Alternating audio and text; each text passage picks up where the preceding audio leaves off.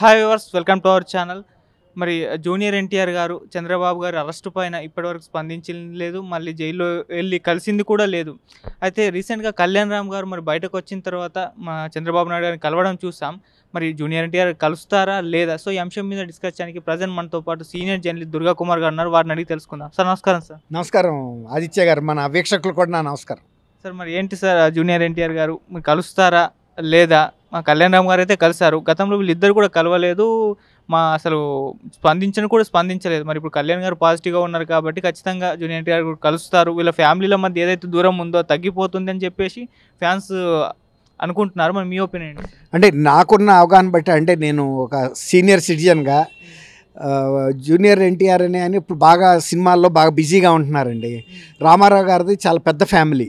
ఇప్పుడు ఆయనకి దాదాపు పన్నెండు మంది పిల్లలు ఉన్నారు తర్వాత ఇప్పుడు శాఖోపశాఖలుగా మనవాళ్ళు ముది మనవాళ్ళు ఇదంతా కూడా విస్తృతం అయిపోయింది. వీళ్ళు రకరకాల వృత్తుల్లో వ్యాపారాల్లో రకరకాల దేశాల్లో రకరకాల ప్రదేశాల్లో ఉండటం జరుగుతుంది. అందువల్ల బహుశా నేను అనుకోవటం ఆయనకుండా సినిమా బిజీ మూలాన కలవకపోయినా ఇప్పుడు ఫోన్లో కానీ పలకరించి ఉండొచ్చు. ఇవాళ రేపు ఫిజికల్గానే వచ్చి కలవక్కర్లేదు. బహుశా నేను అనుకోవటం ఫోన్లో మాట్లాడుకోవడం ఉండొచ్చు. కలవకుండా ఉంటారని అయితే నేను అనుకోను. ఎందుకంటే వాళ్ళ మధ్యలో అంత శత్రుత్వం ఉండాల్సిన అంశాలు అయితే నాకు తెలిసి ఏమీ లేవు.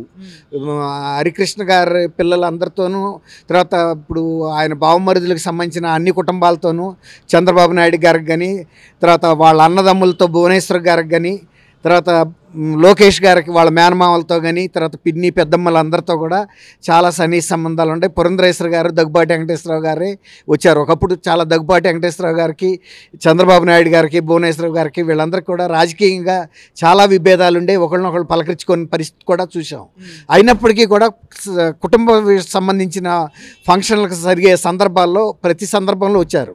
ఏ శుభకార్యానికైనా ఇంకేదైనా ఇది జరిగినా కూడా ఫంక్షన్స్. అట్లా ఈ కుటుంబాల్లో సొంత కుటుంబంలో జరిగిన ఫంక్షన్స్ని రాజకీయాలు ఎప్పుడు కూడా వీళ్ళని దూరంగా పెట్టలేకపోయినాయి. ఈ లేటెస్ట్ సంఘటన ఏంటంటే పురంధరేశ్వర్ గారు బీజేపీ అధ్యక్షురాలుగా ఉండి ఒక రకంగా ఆమె విమర్శలు కూడా ఎదుర్కొన్నారు. బీజేపీ అధ్యక్షురాలుగా కాదు కొంతమంది అపరిపక్వంగా తెలుగుదేశం అధ్యక్షురాలుగా పనిచేస్తుందని కూడా విమర్శించారు. కానీ అది సరైన విమర్శ అయితే కాదు. ఇప్పుడు వాళ్ళ పార్టీ మీద విమర్శించింది కాబట్టి ఆమెని తెలుగుదేశం అధ్యక్షురాలుగా ఉందని అంటం అనేది కరెక్ట్ కాదు. ముందు మీ పార్టీ మీద ఆమె చేసిన అవినీతి సంబంధించిన ఆరోపణల మీద వాళ్ళు చెప్పాలి. ఈ మధ్యలో ఇంత స్కామ్ జరిగిందని ఆమె చెబుతున్నారు. లేదు ప్రతిదీ డిజిటల్గా జరుగుతుంది. మేము ఈ డిస్టిలరీస్ నుంచి తీసుకొచ్చే రేట్లు ఇవి. మేము అమ్ముతున్న రేట్లు ఇవి వాటి క్వాలిటీ ఇది ఆమె ల్యాబ్లోంచి తీసుకొచ్చిన రిపోర్ట్స్ కరెక్ట్ కాదు. అలాంటివి ఏముంటే చెప్పండి రుజువులు. అంతేగాని భువనేశ్వర్ గారిని పట్టుకుని ఆమె మీ పార్టీ అంతకుముందు పార్టీ అధ్యక్షులు అందరూ మరి వైఎస్ఆర్సీపీ అధ్యక్షులుగా చేశారా? బ్రాంచ్ అధ్యక్షులుగా. అట్లా అపరిపక్వంగా ప్రజలు చూస్తున్నారు. ఆమె అడిగింది ఏంటి మీరు మాట్లాడుతుంది ఏంటి అని.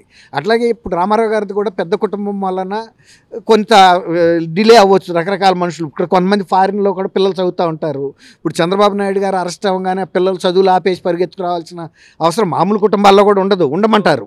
ఏమైనా కష్ట సుఖాలు వచ్చినా మేము ఇక్కడ చూసుకుంటాము. పిల్లల్ని అయితే డిస్టర్బ్ చేయరు కదండి. ఇప్పుడు జూనియర్ ఎన్టీఆర్ గారు కూడా థర్డ్ జనరేషన్ ఆయన. వాళ్ళందరూ పైకి రావాలని వీళ్ళు కోరుకుంటారు. వాళ్ళ వృత్తి వ్యాపారాల్లో కానీ ఏదైనా వాళ్ళ వ్యాపకాల్లో చదువుల్లో కానీ అట్లా ఇప్పుడు మా ఇళ్ళలో కూడా మేము మామూలు సాధారణ కుటుంబం అయినా కూడా మా ఇళ్ళలో కొన్ని సంఘటనలు జరిగినప్పుడు విదేశాల్లో ఉన్న పిల్లల్ని రమ్మని మేము అడగం వద్దని కూడా చెబుతాం. తర్వాత ఏ విషయాలు ఇంకా ఇతరతర దూర ప్రాంతాల్లో ఉంటే అది మనం గమనించాలి తప్ప పెద్ద ఇందులో నుంచి హిల్స్ అవుట్ ఆఫ్ మోల్స్ అన్నట్టుగా చూడటం తగదని నేను అనుకుంటున్నాను సార్ అంతకుముందు బాలకృష్ణ గారిని ఇదే విషయం మీద అడిగితే ఆయన ఐ డోంట్ కేర్ అని చెప్పేసి అన్నారు. అప్పుడు పెద్ద ఎత్తున కొద్ది చర్చ నడిచింది. ఏంటి ఇలా ఫ్యామిలీల మధ్య ఇలా గొడవలు అయిపోయాయి? మరి ఎప్పుడు ఇదంతా కూడా సర్దిపోతుంది అని చెప్పేసి అనుకుంటున్నారు. మరి ఏంటి సార్ బాలకృష్ణ గారు అప్పుడు అన్న వాక్యాలపై అంటే మీరు మంచి ప్రశ్న అడిగారు ఆదిత్య గారు. ఇప్పుడు బాలకృష్ణ గారు తారకరత్న కూడా బాలకృష్ణ గారికి ఒక అన్నగారు అబ్బాయి. ఆయనకి హార్ట్ అటాక్ వచ్చి చాలా కోమాలోకి వెళ్ళిపోయిన పరిస్థితుల్లో కూడా తండ్రి కన్నా కూడా బాలకృష్ణ ఒక బాబాయిగా ఆయనకి ఇప్పించిన వైద్యం కానీ ఆయనతో పాటు వాళ్ళ భార్యతో పాటు అంటే కోడలు అంటే తారకరత్న గారి భార్యకి ధైర్యంగా నిలబడి ఆ ట్రీట్మెంట్ ఇచ్చిన అన్నాలో ఆయన అక్కడే హాస్పిటల్లోనే ఉండారు కదండి. మనం చూసాం ఇప్పుడు మొన్న ఆయన చాలా చికాకు పరిస్థితుల్లో ఈ అరెస్ట్తో అప్సెట్ అయిపోయిన పరిస్థితుల్లో ఎవరో ఒక విలేకరు అడిగినప్పుడు ఇప్పుడు ఏం చెబుతారా ఆ చి- చిరాకులో? అది ఇప్పుడు ఇవన్నీ ముఖ్య విషయాలు కాదండి ఎవరు వచ్చారా ఎవరు రాలేదా కాదు కదా అంటాం కదా. మనమైనా మన కుటుంబాల్లో ఇప్పుడు ఎవరు వచ్చారా ఎవరు రాలేదు కాదండి మనకుంట సమస్యలు ఆవేదనలో ఉన్నారు. అరెస్ట్ అయ్యాడు. అరెస్ట్ అవ్వడం పెద్ద ఏం తప్పు చేస్తే అయ్యాడు అనేది కాదు కదా. అది ఒక విధి విధానాలు పాటించకుండా అరెస్ట్ చేశారనే ఆ చికాకులో ఉన్నప్పుడు ఎవరైనా అడిగినప్పుడు ఎవరైనా అదే చెబుతారు అంతే చెప్పుంటాడు. అంతే తప్ప జూనియర్ ఎన్టీఆర్ బాలకృష్ణ గారు కూడా అనేక వేదికల్లో మా బాబాయ్ ద గ్రేట్ అని ఆయన మెచ్చుకున్నాడు మా అబ్బాయి గ్రేట్ అని ఈయన మెచ్చుకున్నాడు ఈయన మంచి మంచి సక్సెస్ విడుదలైనప్పుడు చిత్రాల్లో కానీ అంత వీళ్ళిద్దరి మధ్యలో కూడా ఎనిమాసిటీ అయితే ఉందని నేను అనుకోనండి. ఎందుకంటే రామారావు గారి ఫ్యామిలీ నుంచి ఇంత అంత నాకు అవగాహన ఉంది. ఇప్పుడు కాదు నైన్టీన్ ఎయిటీ టూ నుంచి మేము హరికృష్ణ గారు కానీ వీళ్ళందరినీ రామకృష్ణ గారిని కూడా మొన్న ఈ మధ్య నేను రాజమండ్రిలో కలిసా రామకృష్ణ గారిని. ఆయన అసలు ఆమె భువనేశ్వర్ గారిని వదిలిపెట్టి ఉండలేదు ఒక తమ్ముడు అవుతాడు అనుకుంటా ఆమెకి రామకృష్ణ గారు. మరి ఆయన ఆరోగ్యం బాగోపోయినా కూడా అక్కరిని అంటి పెట్టుకుని ఉన్నాడు నిన్న బాలకృష్ణ గారు కూడా భువనేశ్వర్ గారు అక్క అవుతుంది దానికి. మరి ఆయన ఆనందంలో ఆమెను అత్తుకుని ఓదార్చాడు. ఆనంద బాష్పాలు రాల్స్తా అట్లా ఆయన రామారావు గారి పిల్లల విషయంలో ఒకళ్ళ పట్ల ఒకళ్ళ బాధ్యతగా ఉండటం కానీ ఒకళ్ళ పట్ల ఒకళ్ళ ఓర్పుగా ఉండటం ఇవన్నీ కూడా నేర్పాడండి. వాళ్ళకి కానీ అనేక ట్రాజిడీలు ఈ మధ్య కాలంలో చూసాం ఏ ట్రాజిడీలో కూడా కుటుంబం దూరంగా లేరు. అందరూ వచ్చి కమ్ముకున్నారు. అది ఇది దీన్ని విడిగా చూడాల్సినంత అవసరం ఉండదు ఆదిత్య గారు. ఖచ్చితంగా జూనియర్ ఎన్టీఆర్ తను ఎప్పుడు ఏం చేయాలో కుటుంబంలో తన పాత్ర తను నిర్వర్తిస్తాడు. ఇంకోటి ఏంటంటే హరికృష్ణ గారు కూడా ఒక సందర్భంలో చెప్పాడు. నేను ఫస్ట్ ఈయన హరిరామ్ అని తారక రామ్ అని పేరు పెట్టాను.